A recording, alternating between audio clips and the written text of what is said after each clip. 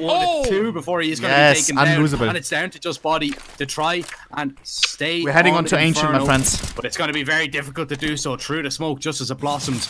Device will go down. 20 seconds, bombs tapped, and body now given a lot of time for Glaive to get into position. And body has been spotted. Reposition comes in, but Glaive tags him down even lower, just toying with him, toying with the idea, but a big headshot. Now in the 1v1. What's happening?